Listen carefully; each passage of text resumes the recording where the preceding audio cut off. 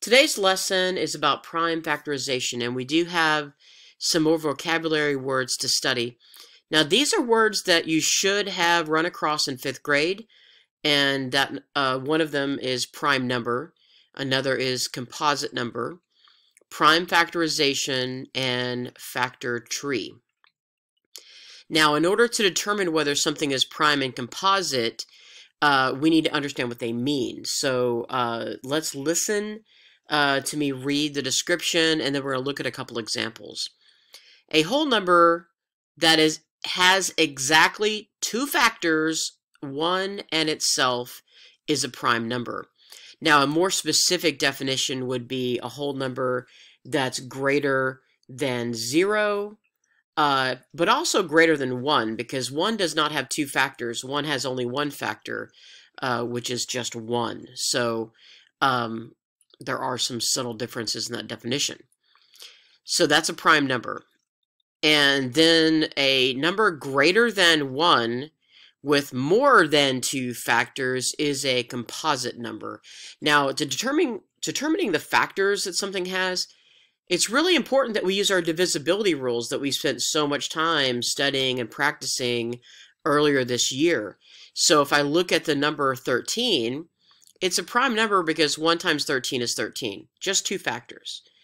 But the number 13 itself is not an even number, so you can't divide it by 2 and have a whole number as an answer. Uh, 3 is not a factor because 1 plus 3 is 4. 4 is not a factor because if I skip count by 4s, I skip over uh, 13, uh, so 4, 8, 12, 16, that's not a factor of 4. It's not a factor of 5 because it doesn't end with 0 or 5. It's not a factor of 6 because it's not a factor of 2, and it's not a factor of 3.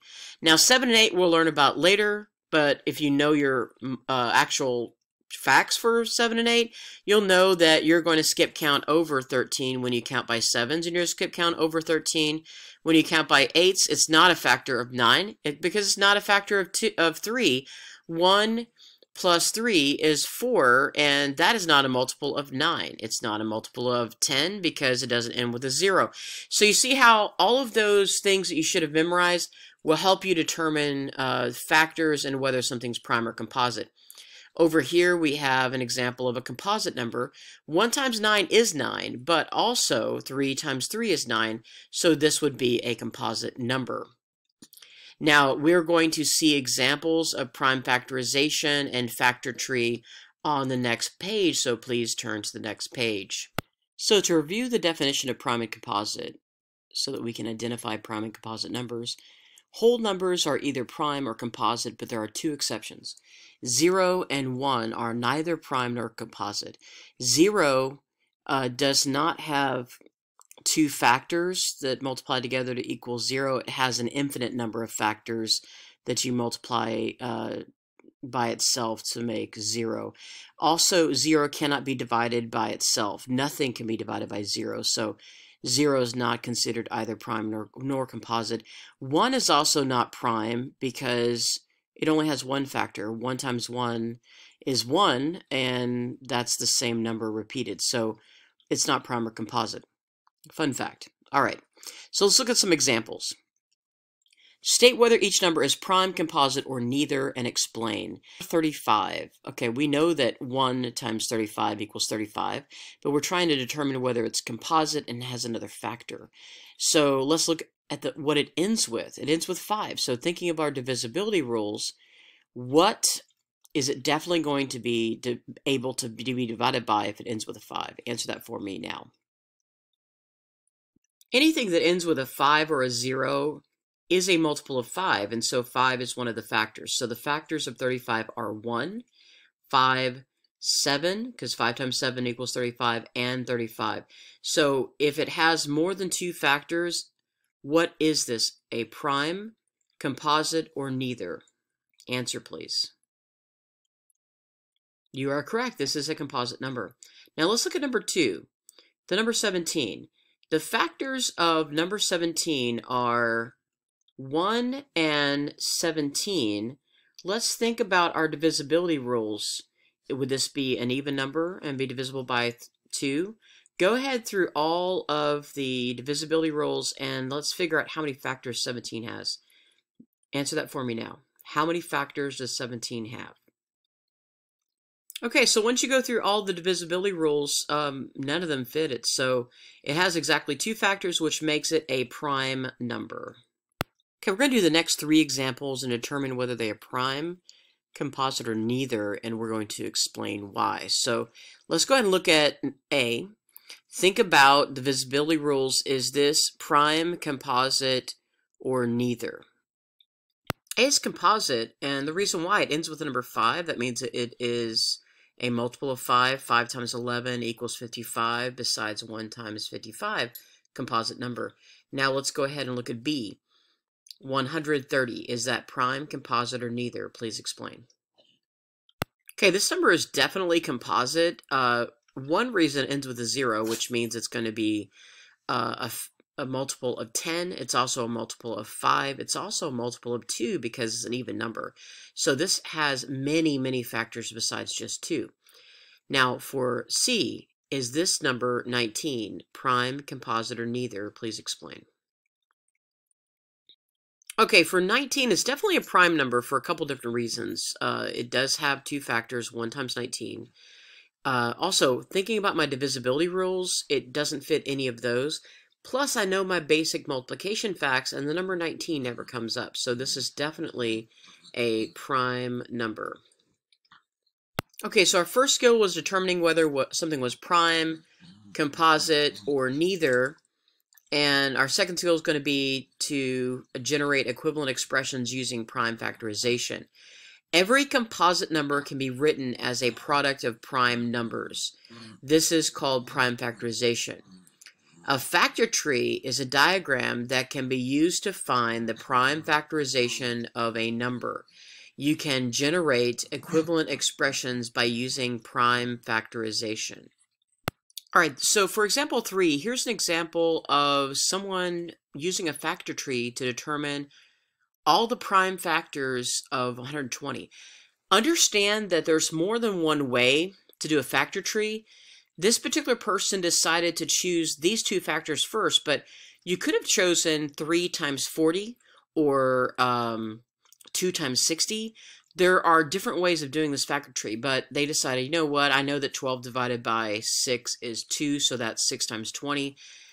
Then we know that 6 is a composite number because 2 times 3 is 6, but we know that 2 is a prime number because the only way you can get it is 1 times 2.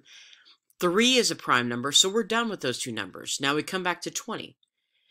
And again, this could have been 2 and 10, but they decided to do 4 and 5. 5 is a prime number. The only way you can get it is multiplying 1 times 5. And then um, 4 can be generated with two prime numbers, 2 times 2. So these are all prime numbers. Okay, so let's go back and look over here. So uh, we end up with this equation. So I'm going to go ahead and write that for you. Um, let me turn my pen back on. So basically, once you get all your prime factors, and it doesn't matter what order because ours will be in a different order if we choose different factors for our tree. So 2 times 3 times 2 times 2 times 5. What I like to do to make sure that I have them all written out is as I write them out, okay, 2, 3, 2, 2, five. So I wrote each of them one time.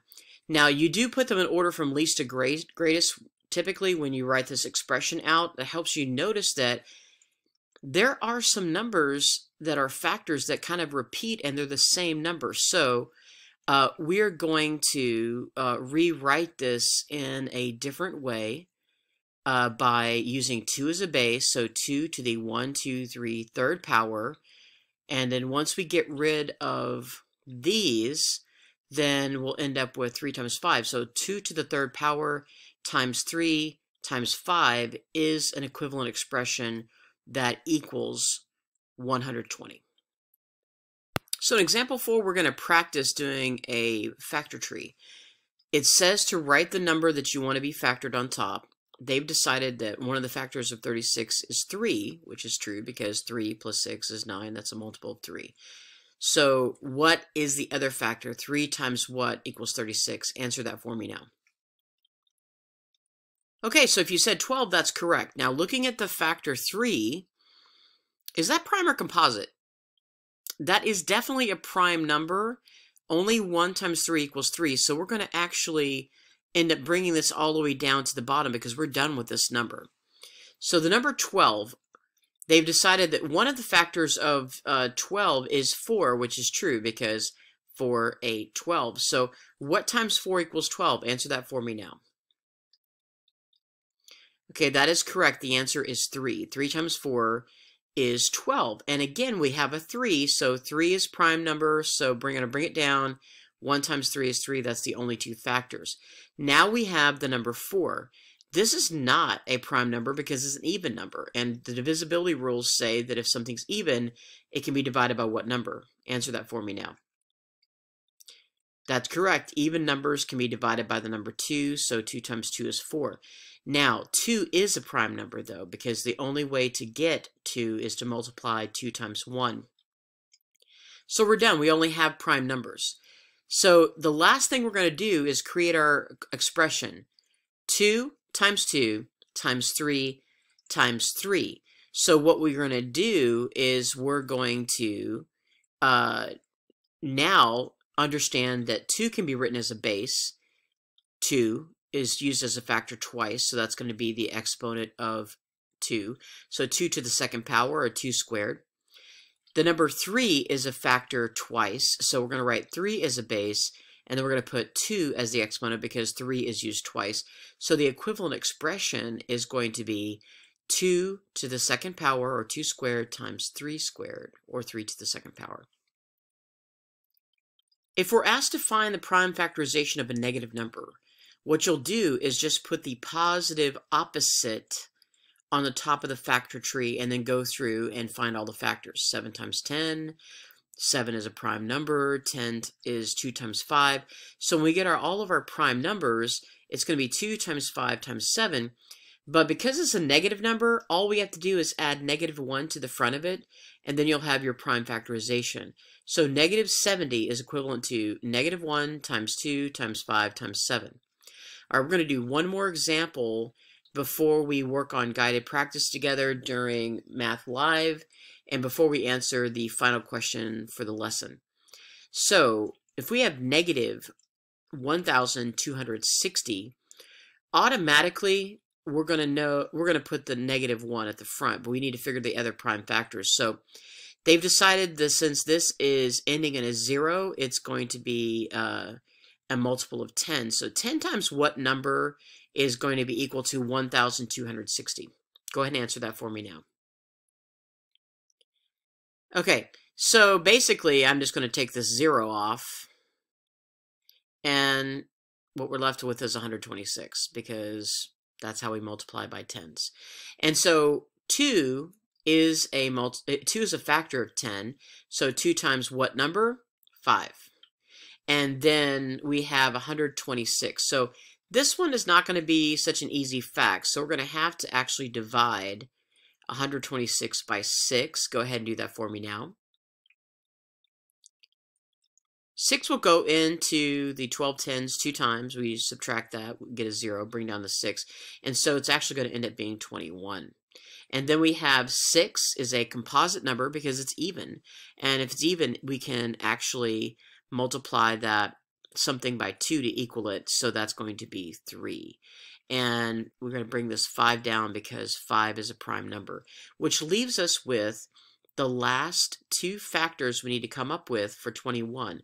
What two numbers are prime numbers that multiplied together that equals 21? Answer that for me now. Okay, so that answer is actually 3 times 7. So if I were to now create uh, the expression that is going to be equivalent, I'm going to write 2, I'm going to mark it out, times 2, mark that out, times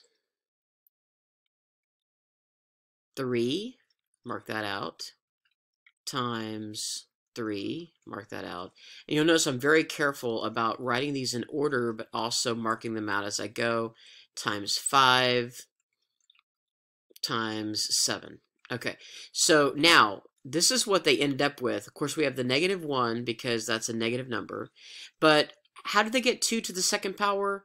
Well, there were two, number 2, so the base is 2, and the exponent is going to be 2. There were 1, 2, 2 3s, so that's going to be 3 to the second power. And then there was just 1 5 and 1 7. So the uh, that's going to be negative 1 times 2 squared times 3 squared times 5 times 7.